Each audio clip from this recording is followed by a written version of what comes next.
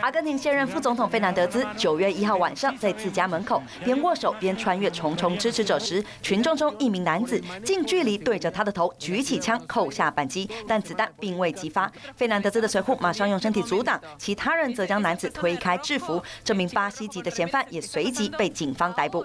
犯案动机仍在调查中。阿根廷总统公开谴责说，这是阿根廷回归民主后最严重的事件，甚至宣布全国放假一天，展现支持。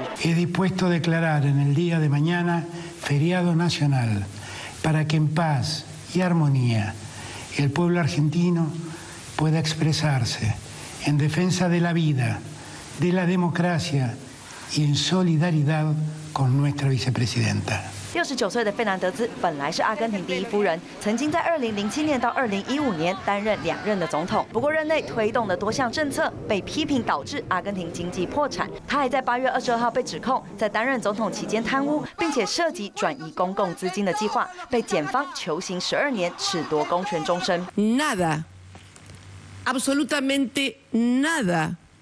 De lo que dijeron fue probado, pero no es que. 费南德兹表示自己受到司法迫害，而每天都有数以千计的阿根廷民众走上街头，或是聚集在费南德兹家门口，表达对他的支持。华彩新闻杜希马读告编译。